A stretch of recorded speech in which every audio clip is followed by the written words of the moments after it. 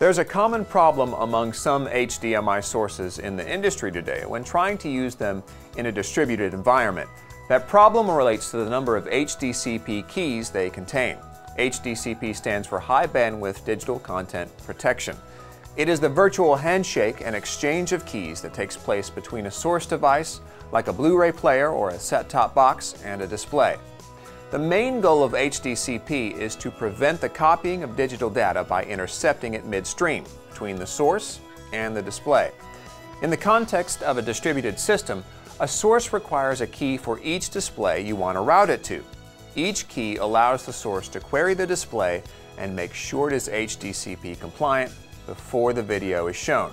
Most sources are issued plenty of keys to do this, making it simple to put it in any system where you want to route it to several displays.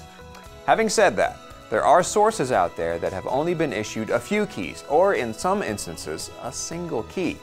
That means you can route your source to a single display with no problem, but as soon as you try and route it to another display after that, the source becomes inoperable everywhere. It's just another one of the joys of working with HDMI. There's really no way of knowing which sources have limited or only one key ahead of time, other than by word of mouth or trial and error.